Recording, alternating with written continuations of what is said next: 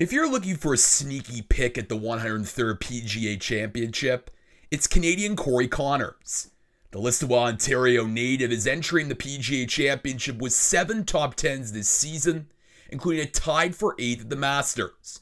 Ranked sixth on the PGA Tour in strokes gained approach the green and ninth in strokes gained tee to green, Conners is looking to put his iron play and ball striking to the test at the punitive Kiawah Island Ocean course golf course is phenomenal. It's a really good test, tee to green, very very challenging, and uh, it's it's going to take uh, you know four solid rounds to get yourself in the mix. Conners told the media on Wednesday that putting is an area of his game that he is working on.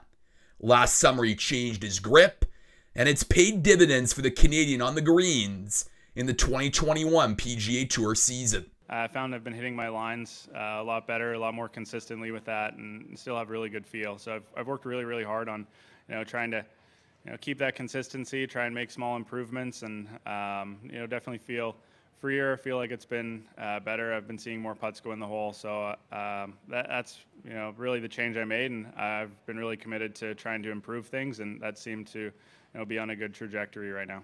Perhaps the biggest revelation in Conners' media availability were his thoughts on the Stanley Cup playoffs and the Scotia North Division.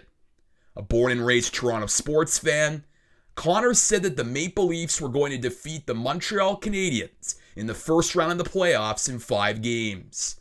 This is Lukas Weese reporting remotely on the 103rd PGA Championship.